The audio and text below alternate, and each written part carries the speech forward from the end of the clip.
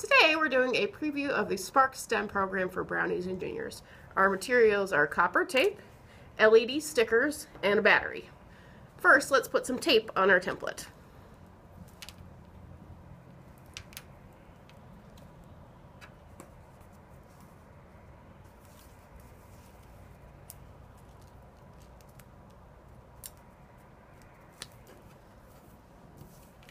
All right, we have a completed circuit right here. And now we're going to add our LED lights.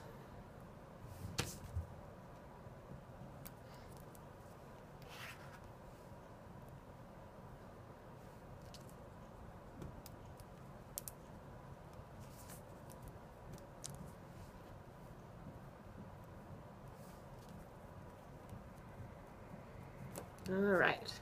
And finally, we're going to add our battery, making sure that it's positive side up.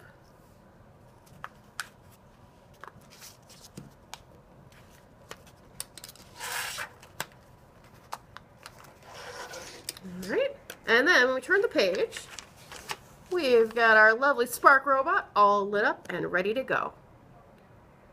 Come and make yours at Spark.